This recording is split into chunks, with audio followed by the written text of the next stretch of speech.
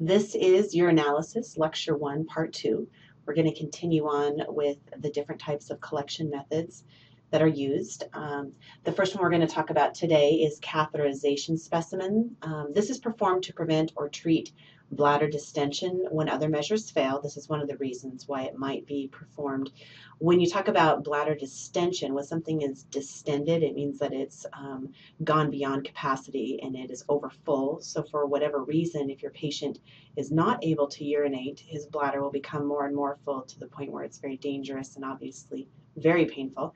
So they will need to use a catheter to be able to relieve that pressure and get the urine out of the bladder. It can also be performed after voiding to determine how much residual urine remains in the bladder.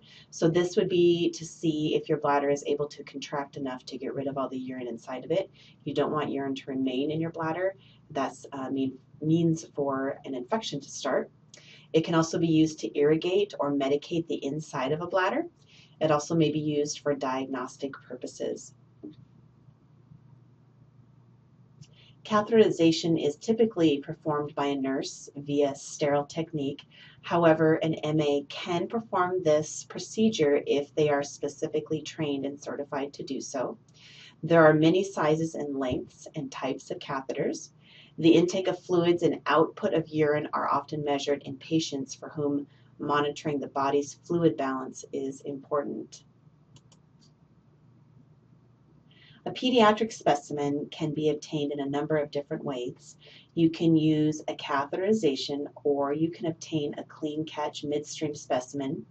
Um, sometimes, though, those may not be alternatives for the pediatric patient, and you need to attach an adhesive pediatric urine specimen bag because um, this is often the method of choice. And we are going to learn how to do this, so hopefully in your procedures you have read through this. A suprapubic specimen is collected by um, using a sterile needle and syringe. The needle is inserted into the patient's bladder through the abdominal wall just above the pubic bone and the urine sample is withdrawn. Suprapubic specimens are shown to be more reliably free of contamination than the clean catch specimens, and the procedure is performed by a physician. This is not something that a nurse or an MA can do. It's used for cytology examinations, which once again, cytology is always looking at the different types of cells that will be extracted from the bladder. Please refer to procedures 46-3, uh, assisting with straight catheter insertion and collecting a sterile urine specimen for detailed instructions. Once again, we will not be going over um, those two in class, but we will need to know how to do those. Okay, so a routine urinalysis. This is typically performed on large numbers of patients to identify potential health problems. Physical analysis may include a description of the appearance, the odor, and volume of urine. A chemical analysis may include tests for pH, specific gravity, glucose, bacteria, protein, and other chemical elements. If the results are abnormal, more specific testing can be ordered to determine a diagnosis and treatment.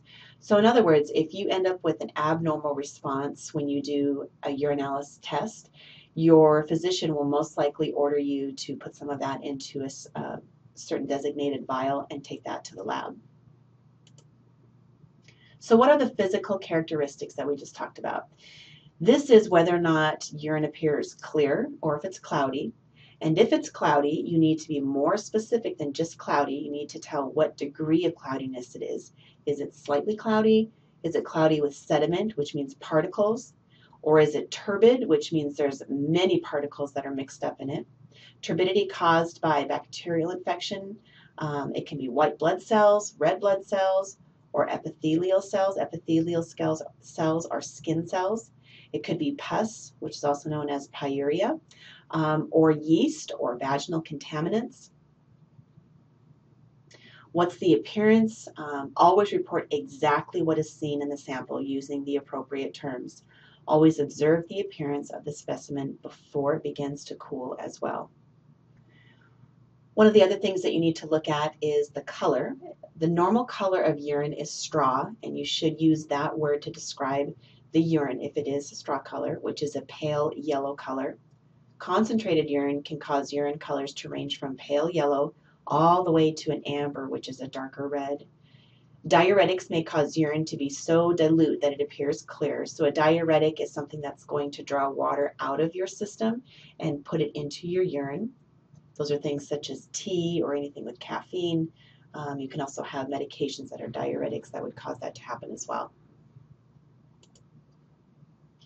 You can have urine that is brown or black, and this indicates a serious illness. Whenever you have a urine sample that comes back as this color, you need to alert your physician immediately. Reddish brown color may indicate bleeding, either in the urinary tract or from menstruation. You always need to make sure that if the color does come back as that and you have a female patient, that you ask them if they are menstruating at that time. Urine may also come back with an orange color to it, and this is the result of a medication called pyridium. Um, this is a medication used for bladder spasms or pain. Large quantities of B vitamins can also cause the urine to appear a bright yellow. Some medications, such as amitriptyline, can turn urine even blue or green. So don't be alarmed. If that does happen, you should probably ask your patient if they're on any of those medications.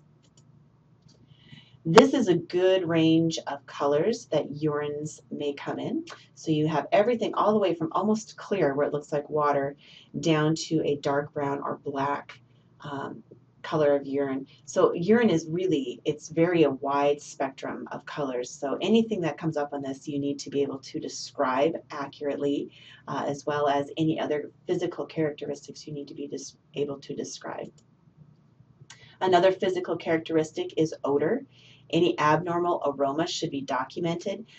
Individuals testing positive for ketones may have kind of a fruity odor to their urine and could be indicative of uncontrolled diabetes. You, for the most part, don't want to have ketones in your urine. You, you may come into contact with urine that's very putrid or foul and foul smelling, and this might indicate an infection.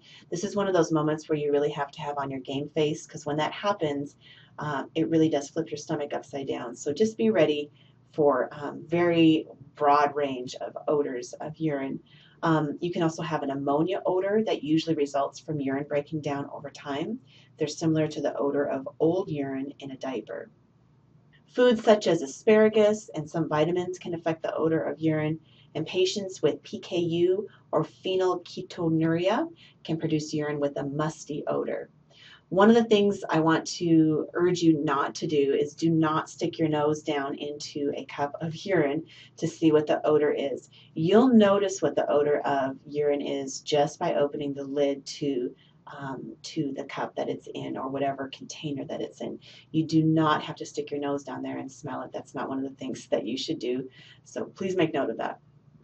Okay, you need to pay attention to the quantity. Remember we talked before about quantitative versus qualitative. Once again, quantity is the amount measured uh, when timed urine specimens are collected, but not for routine samples. So a 24-hour urine sample should measure between 700 to 2,000 mLs, with the average being around 1,500, which is roughly three pints. It varies depending on the amount of fluid ingested by the patient. Quantity is one of the physical characteristics that we're going to be looking at. Polyuria Remember, poly means many. This may indicate disorders such as diabetes or kidney disease. This is where you have an overproduction of urine. Oliguria can be indicative of dehydration, bleeding, decreased fluid intake, or kidney disease. And anuria may be a result of renal failure or an obstruction. Anuria is where you have stopped urinating. When you look at specific gravity, this is a rough estimate of the concentration of the urine. So the specific gravity is the weight of a substance in relation to the weight of the same amount of distilled water. Normal specific gravity ranges between 1.010 and 1.030. The presence of protein, Glucose or X-ray dyes may increase the specific gravity of urine, obviously because you are going to be spilling those waste products into your urine. Possible causes of abnormal specific gravity may include, if it's low, diabetes insipidus, glomerulonephritis, pyelonephritis, chronic renal disorders, and excessive hydration. Remember, glomerulo is talking about the glomerulus, which is the basic unit of function within the kidney. Anything that has neph on it is dealing with the kidney. Itis is going to be an inflammation of. When you're dealing with high specific gravity, that may be a result of dehydration, diabetes mellitus, adrenal insufficiency, hepatic disease, which is liver disease, or heart failure. So most of you will be using what's called the dipstick method or the reagent strip method. We're going to be doing this in class quite a bit and you will be tested on this. This is the most commonly used method of measuring specific gravity. It's performed by dipping a chemically treated piece of plastic, which is the dipstick, into a sample of urine and then reading the chemical reaction that takes place on the dipstick. So you need to make sure that you are very accurate in recording the color that associated that is associated with the numbers on the stick. The test strip is evaluated by a chemical analyzer or by visual comparison with the results on the side of the test strip bottle. So usually on the test strip bottle they have a visual representation of all the different components that you'll be testing for and the color that is associated with the measurement of it will be next to it. This is always the method that I used as I was working in uh, the different offices. I never got to use an analyzer, which is usually commonly used in a lab. But however, there are physicians' offices that use that so you don't have to know visually. I do want you to know how to do this visually because it's important. This is an example of a urine being tested with the reagent strip. They're going to go ahead and dip that down in there and they're going to wait the allotted one minute if they see any signs of leukocytes, they're also going to wait an additional minutes for their leukocytes. But after that one minute, they're going to hold up that strip next to the bottle and they're going to compare the colors and they're going to record the numbers. It is absolutely important that you be accurate with the numbers that you record. That'll be a part of the skills checkoff that you need to pass. Here is the MA holding the strip up next to the bottle. You can see that they're reading some of those colors and finding out what the associated number is with them. Another method of analyzing urine is the refractometer method. This is less common than the dipstick method, and a refractor may be used to determine the specific gravity. Refractometer uses light, a prism, and a calibrated scale to measure the concentration level of the specimen. The method may be seen in older offices or cost-efficient clinics. This is what a refractometer looks like.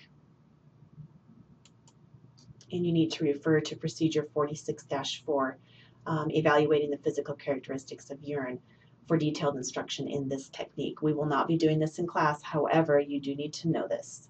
And these are just some of the physical characteristics, once again, of urine. You can see the large span of colors. This is evaluating a, the cloudiness of urine. You've got all the way from clear down to very cloudy. 46-5, please review that one. That's measuring the specific gravity of urine with the refractometer for instructions on this technique. Once again, another picture of what a refractometer looks like. You've got the eyepiece, the lens, temperature condensing dial, excuse me, temperature compensating dial, the cover plate, and the prism surface. So let's look at the different components or the chemical characteristics using the dipstick method. Um, the dipstick has small chemically treated pads that react with the specific chemicals in the urine to allow for measurement of specific elements. Color changes caused by the chemical reactions are compared to charts on the outside of the reagent strip container.